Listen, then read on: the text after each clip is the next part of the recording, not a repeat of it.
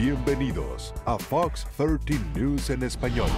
Hola, muchísimas gracias por acompañarnos. De saluda Mireya García. La policía busca a él o los responsables en un par de apuñalamientos que ocurrieron en el centro de Seattle en horas de la madrugada. Ocurrió en el área de la calle 3 y Stewart a las 3 de la madrugada.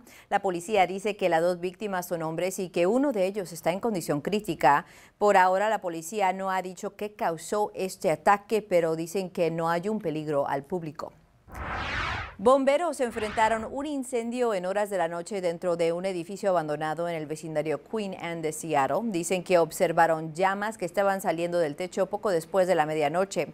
Testigos reportaron que observaron a una persona sobre el techo, pero bomberos dijeron que no encontraron a nadie. Pero la policía dice que varias personas en el área se fugaron cuando llegaron investigadores. Bomberos indican que se han presentado otros dos incendios graves en ese edificio este año ha concluido la primera semana en el juicio de los policías de Tacoma acusados en la muerte de Manny Ellis. Sabemos que ayer el testimonio de su hermana fue escuchado, hermana de la víctima. Dice que hablaba con su hermano frecuentemente y que escuchó su voz el día que murió mientras Ellis hablaba con su madre y que ese mismo día su hermana eh, no logró contestarle a una llamada que él le dio a ella. Ese mismo día fue el día que murió. La hermana de eh, Ellis, ah, con apellido Carter Mixon, dice que intentó por meses obtener más informes sobre la muerte de su hermano y que en junio finalmente le llegaron informes de parte de un testigo que grabó lo ocurrido. Ahora la madre de Ellis estará programada para hablar frente a la corte el lunes. El Festival de Películas Latinas inicia esta noche. Estará mostrando películas independientes y películas que han sido éxitos populares. El festival celebra, estará celebrado hasta 14 de octubre y tendrá la oportunidad de ver películas en varios lugares de Seattle, incluyendo el Museo de Artes de Bellevue, la Ópera de Seattle y la Beacon Hill Cinema. El Teatro Carco en Renton presentará la primera película del festival llamada Undocumented Sin Papeles.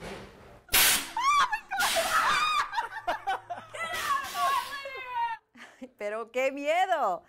Ah, ha regresado Fright Fest a Wild Waves en Federal Way este fin de semana. La Casa Embrujada estará disponible los viernes, sábados y domingos hasta el 29 de octubre. Y como puede ver ahí, nuestra reportera Taylor Winkle entró a la Casa Embrujada y pues sí, se asustó bastante.